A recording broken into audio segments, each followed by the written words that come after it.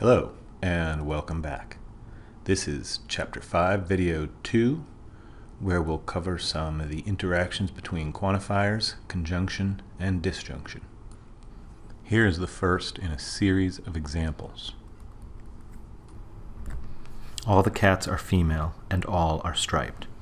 If we follow the pattern in the English exactly, we'll wind up with a conjunction of two universal claims. All x, fx for everything is female, and all x, sx for all of them are striped. Now consider this example. All the cats are both female and striped. Again, if we follow the pattern in the English there, we're going to wind up with this. For every x, it is both female and striped. So we have one universal quantifier, and the parentheses indicate that the scope of that quantifier extends both across fx and sx. Now, question. Are these two statements saying anything different? If you think about it, you'll see that they are in fact equivalent. If all the cats are female and all the cats are striped, then it must be the case that all the cats are both female and striped. Just the same, if all are both female and striped, then all are female and all are striped. So we get the equivalence. Contrast that with this case. First, we'll have some cats are female and some are striped. That's going to follow syntactically similar pattern to this one here, except with the existential quantifier. So we'll say existential x fx, some are female, and another existential x, some are striped.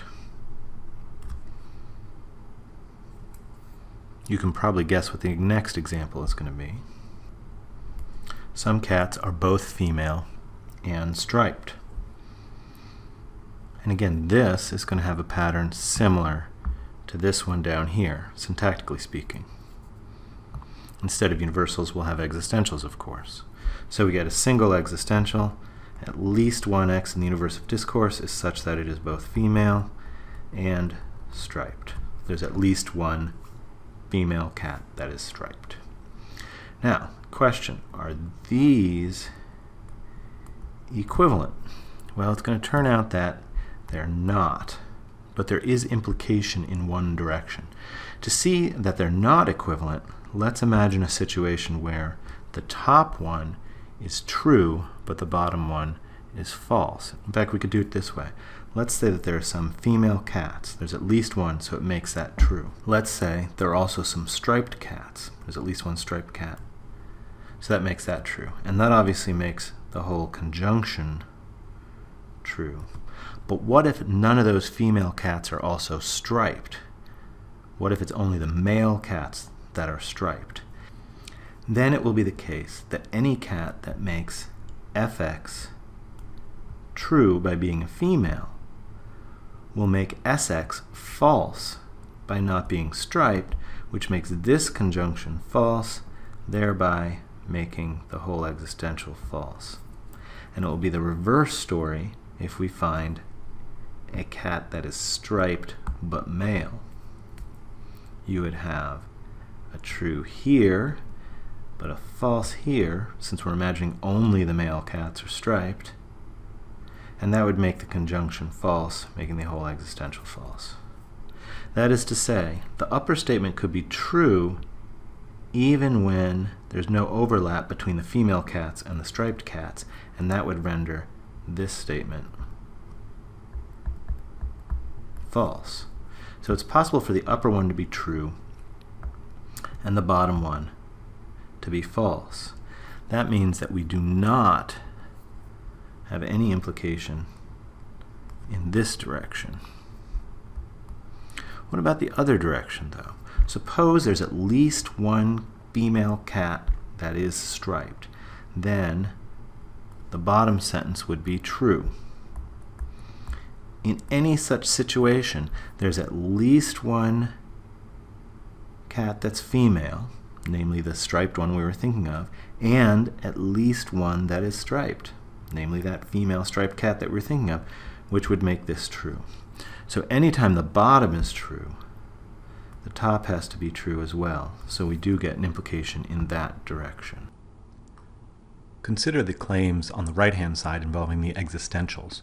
In the top one, where the conjunction is the main operator, there is the possibility that it's two distinct cats, the one that is female and the one that is striped. They need not be the same cat.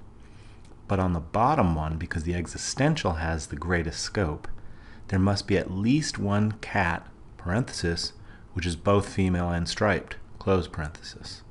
That's how we get the failure of implication from top to bottom. We could have two totally different cats, one being female, the other one being striped, but not have one cat that is both female and striped. Whereas that's why we get the implication from bottom to top. If you've got at least one cat which is both female and striped, then you've got at least one that is female and at least one that is striped. It just happens in this case to be the same cat if the bottom one is true. So the implication and failure of implication has to do with the varying scope of the existential and conjunction. That doesn't make a difference on the left-hand side with universal because if all of them are female and all of them are striped, then all of them are both female and striped. The scope interaction between conjunction and universal is different than that between conjunction and existential. What this is showing is that the universal quantifier can distribute across conjunction and maintain equivalence. But the existential quantifier does not distribute across conjunction to maintain equivalence. But there is still this implication. Let's see another set of examples. So what we're going to do now is change all the conjunctions to disjunction. So in the upper left, instead of all the cats are female and all are striped, we're going to have all the cats are female or all are striped. Now I'll quickly make the same changes throughout the rest of these. So here's our new set of examples. Let's start at the upper right. All the cats are female or all are striped is pretty simple. It's the same thing we had before except with a disjunction instead of a conjunction. So we get all x, fx, or all x, sx. And down below, same thing again, we'll have a single universal quantifier, and in parentheses have fx or sx. Let's get all four of these out and then we'll talk about whether there are any equivalences. Some cats are female or some cats are striped. We can have two existentials, some x, fx, or some x, sx. And then down here we'll have a single existential, some x, fx or sx. Now if we look at the pair on the right hand side, over here, we can wonder about whether there is any equivalence. We can give a quick argument that in fact there will be equivalence. Suppose the top one is true. That can happen in any one of three ways. The left disjunct is true, the right disjunct is true, or they're both true. That is to say, either there's at least one female cat making some xfx true and making the whole disjunction true, or there's at least one striped cat making some xsx true, the right-hand disjunct, and thereby making the whole disjunction true, or it could be both. In any one of those cases, you're either going to have the left disjunct here satisfied by that at least one object, or the right disjunct here, or both. In any one of those cases, we have at least one object that makes this disjunction true, and that makes that existential true. So we've established a downward implication from the top one to the bottom one. If we think about it the other way around, for this to be true, it must be the case that there's at least one object for which either fx is true or sx is true, possibly both. but those were the exact same three situations we described earlier for the truth of the top one. So we do get equivalence between these two. They are true in all and only the same situations, which also means that they'll be false in all and only the same situations. So they're equivalent. Now look at the left-hand side. This is going to be similar to the right-hand side earlier where there was an implication in one direction but not both. Take a look at the top one. For this to be true, there are again three possibilities. Either all the cats are female, or all the cats are striped, or both. In any one of those situations, it's going to be the case down here for every cat that it's female and therefore female or striped, or that it's striped and therefore female or striped, or both. So any one of the three situations that makes the top one true also makes the bottom one true. So we do have a downward implication here. What about the upward implication? To test whether there's any upward implication, let's see if we can think of a way where the bottom one is true, but the top one is false. Here's a way. It's not the only way, but it's the most straightforward way. Let's imagine that exactly half of the cats are female, but not striped, and the other half are striped, but not female. So there's no cat that is both female and striped. In this scenario, this is true because for every cat in the universe of discourse, it's either female or striped.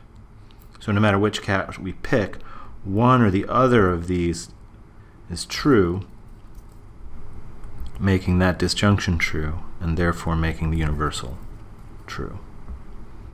But in that situation, it's not true that all of them are female, and it's not true that all of them are striped so the disjunction winds up being false.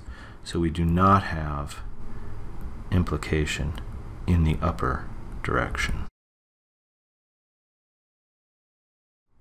So what we're seeing here now is that the existential quantifier can distribute across disjunction, but the universal quantifier cannot distribute across disjunction.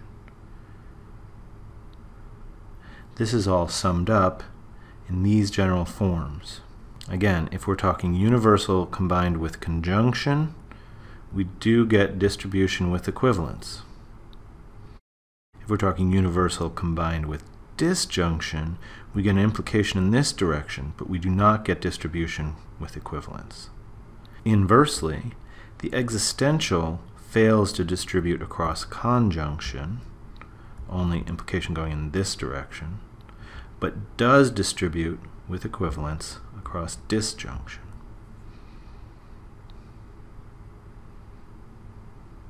A partial explanation of the reason for this is that the universal is a sort of generalized conjunction. Remember back in chapter 2 when we were just dealing with three people going to the fair, we could say all of them are going to the fair by saying Anne's going to the fair, and Bob's going to the fair, and Carol's going to the fair. So saying all is like a generalized conjunction. If we wanted to say at least one of those three went to the fair, we would say Anne or Bob or Carol. And so the existential quantifier is like a generalized disjunction, and it's no wonder it distributes across disjunction with equivalence. So in this video, we have covered the interaction between quantifiers conjunctions, and disjunctions. In the next video, we'll learn how to use quantifiers to translate categorical claims.